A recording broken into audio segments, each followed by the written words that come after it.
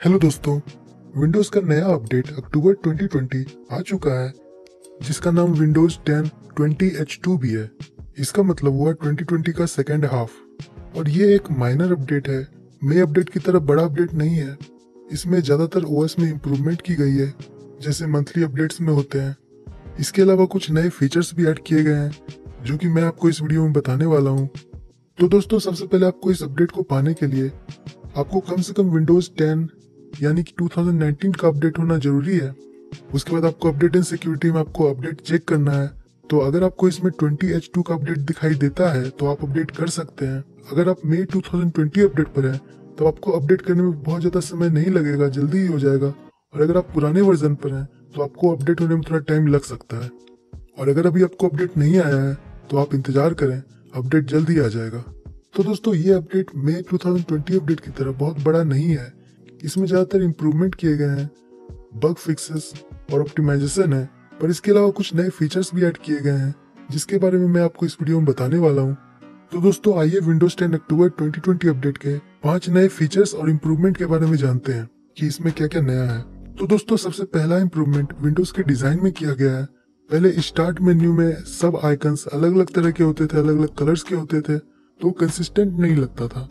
वहीं अब अक्टूबर 2020 अपडेट में एक जैसा एक्सेंट दे दिया गया है पूरे स्टार्ट मेन्यू को, जो कि अब ज़्यादा क्लीन और मिनिमलिस्टिक दिखाई देता है। और आपके बैकग्राउंड के हिसाब से ये खुद को एडजस्ट करता है। तो आप जिस कलर का बैकग्राउंड लगाएँगे, उसके हिसाब से इसका कलर भी चेंज होगा, जो कि डिज़ाइन वाइज काफ़ी अच्छा दिखता है। इसके अलावा दोस्तों आपको नया क्रोमियम बेस्ड माइक्रोसॉफ्ट एज अब इस अपडेट में आपको प्री इंस्टॉल्ड मिलेगा। अगर अभी तक आपने इंस्टॉल नहीं किया है तो अब आपका ऑटोमेटिक इंस्टॉल हो जाएगा।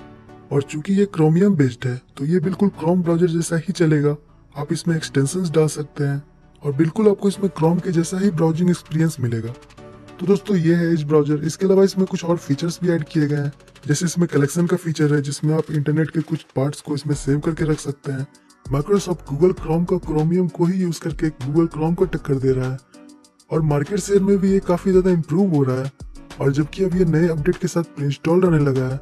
तो अब ये क्रोम को और ज़्यादा टक्कर देगा। और अब विंडोज़ आपको माइक्रोसॉफ्ट एज यूज़ करने के लिए बहुत ज़्यादा फोर्स भी करेगा जैसे आपको ये एनिमेशन दिखाई देगा कि एज को यूज़ करें आप। इसके अलावा विंडोज़ का famous shortcut Alt plus Tab अब माइक्रोसॉफ्ट एज में भी काम करेगा। आप इसमें सारे टैब्स देख सकते हैं माइक्रोसॉफ्ट एज का। इसके अलावा दोस्तों, इसमें टच इंटरफेस में भी इम्प्रूवमेंट किया गया है जैसे पहले आपको टच के लिए खुद से इसमें डेस्कटॉप मोड और टैबलेट मोड ऑन करना पड़ता था।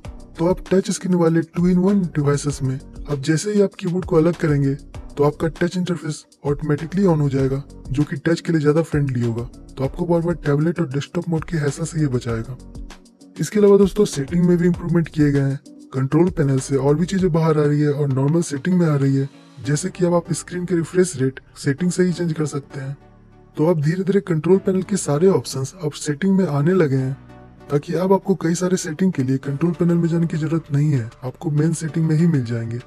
इसके अलावा दोस्तों, आप एक्सबॉक्स गेम पास भी अब पीसी में खेल सकते हैं। पहले मंथ में आपको सिर्फ़ पचास रुपए लगेंगे और आप कई सारे गेम्स अपने पीसी में खेल सकते हैं।